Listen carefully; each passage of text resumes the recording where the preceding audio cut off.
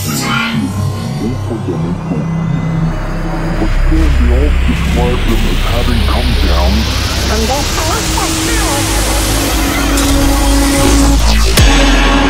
kami are these celestial beings that are able to inhabit basically anything. The term Shinto translates as the way of the kami or uh, the way of the gods.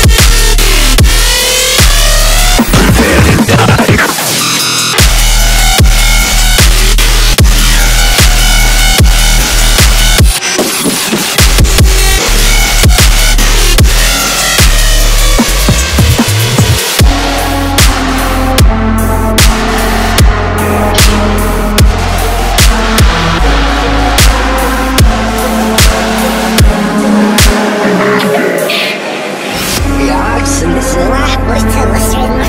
My, my, my, my, my, my,